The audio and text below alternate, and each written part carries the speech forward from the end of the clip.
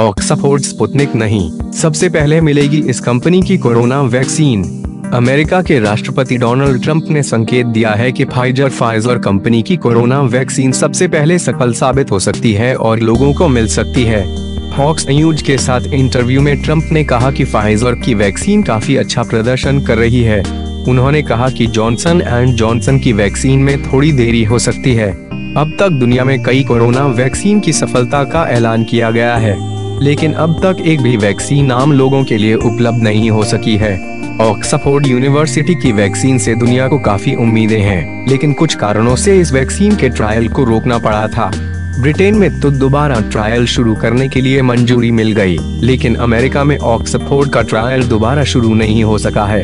इसी बीच Pfizer company की वैक्सीन के जल्दी सफल होने की खबर आई है। इससे पहले सोमवार को व्हाइट हाउस के एक अधिकारी ने कहा था कि सबसे अधिक खतरे का सामना करने वाले अमेरिकी लोगों के लिए दिसंबर तक वैक्सीन आ सकती है। अधिकारी ने कहा था कि सबसे पहले बुज़ुर्ग लोगों और मेडिकल वर्कर्स को वैक्सीन मिलेगी।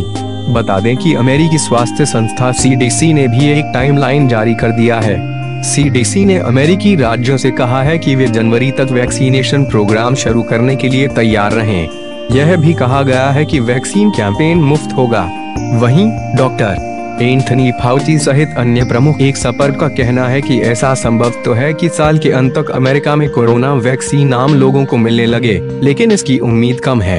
इससे पहले ट्रंप अमेरिका में 3 नवंबर को होने वाले चुनाव तक वैक्सीन लॉन्च करने की कोशिश कर चुके हैं, लेकिन इतनी जल्दी सफलता मिलती नहीं दिख रही।